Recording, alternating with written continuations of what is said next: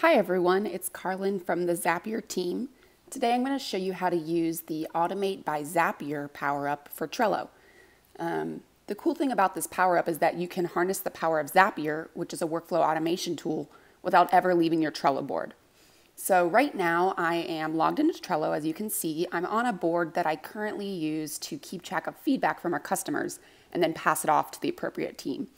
So the first thing I'm going to do to use this power-up is go over to the right-hand uh, menu bar, Show Menu, and click on the Power Up option. Here you'll see Automate by Zapier, and I'm going to enable that. Um, once I've done that, you'll be able to see Automate by Zapier here on your Trello board. This means that you can set up zaps, aka connections, between Trello and 750 other business tools. So you might use Slack, you might use MailChimp, you might use Gmail, you might use Evernote. There are literally hundreds of tools that you can connect Trello to via Zapier. And now you don't even have to uh, leave your Trello board to you know, set up those automations. So what we really want you to do here is uh, work more efficiently and more productively. And we're going to show you how to do just a couple examples of how to do that today. So the first thing I'm going to click on is Automate by Zapier. And uh, up pops a, a pop-up here that I can sign up to Zapier or I can authorize my existing account. Um, so I already have a Zapier account, but if you don't, go ahead and sign up. I'm going to go ahead and authorize. It's going to pop up here um, and just ask me if I want to connect Trello to my Zapier account. Um, so now pops up like our Zapier dashboard. Uh, what that shows is any current uh, Trello zaps I have that are connected to this particular Trello board. So right now, as you can see in this top um, section here, I already have a Zap created that is attached to this board. So anytime I add a new card to this particular Trello board, it sends me a Slack message. So that's what Zapier is already doing. So this is cool. You can see, you know, what Zapier is doing to this board behind the scenes.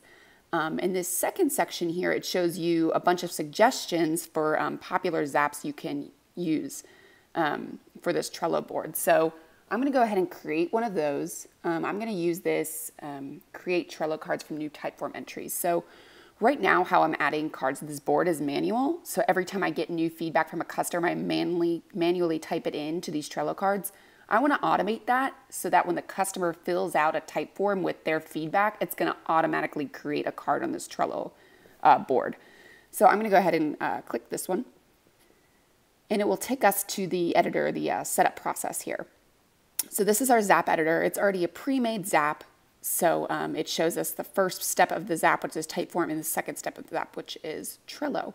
So I'm going to go ahead and create this. Um, and this is going to trigger the Zap anytime there's a new entry in this Typeform. Go ahead and click Continue. And I've already connected my Typeform account to Zapier. So I'm going to go ahead and test that and continue. I'm going to select which form I want to uh, select. So I made a test form here for our, that's capturing our customer feedback.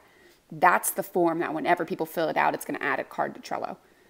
So I'm going to push continue and it's going to um, pull some sample data just to make sure um, that everything's working. So it's going to, Zapier is going to use this sample data to create a test card in Trello now.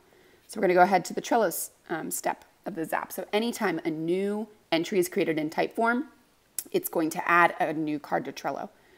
So I'm going to continue here. I've already connected my uh, Trello account and it knows that. So um, tested it, all looks good. I'm going to continue to the next step.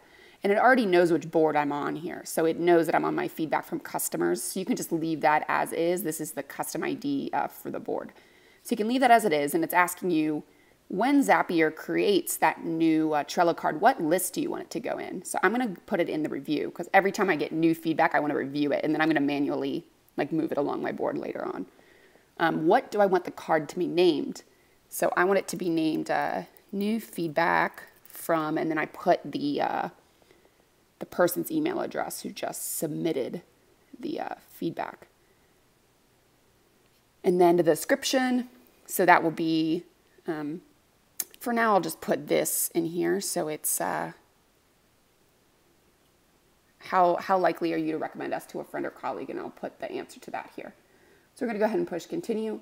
It's going to create a test uh, card here on this exact Trello board. So create and continue. And as you can see over here in this left-hand column, it just created a new card right here in this review list, new feedback from carlin.sack at zapier.com. So it said our test was successful, as we can see. We're going to finish and make sure to uh, turn the zap on. So by turning the zap on, that's going to capture all new Typeform entries and send them to this exact Trello board. So now you can see that zap I just built, that is uh, create uh, Trello cards from new Typeform entries. That's now here in this top section that shows all the Trello zaps that I have connected to this board. If I ever want to go turn it off or edit it in any way, like maybe I want to rename it, I'm going to go ahead and click that.